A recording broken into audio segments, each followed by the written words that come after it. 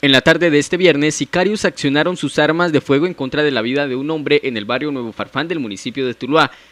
El hecho se registró exactamente sobre la calle 22 con primera a oeste, en donde se encontraba la víctima, quien logró ser identificada como Robinson Alzate Ortiz, de 39 años de edad, natural del municipio de Tuluá y quien se dedicaba al parecer al transporte informal o mototaxismo. Hasta allí llegaron los antisociales, quienes sin mediar palabra alguna desenfundaron un arma de fuego y la accionaron en contra de su humanidad dejándolo gravemente herido, por lo que tuvo que ser auxiliado y rápidamente trasladado a la clínica San Francisco, en donde a pesar de haber recibido atención de urgencia por parte de los galenos, horas más tarde fallece. Las autoridades por su parte llegaron hasta la escena del homicidio para iniciar la recolección de pruebas pertinentes y así lograr identificar a las personas quienes cometieron este lamentable hecho también esclarecer los móviles del mismo.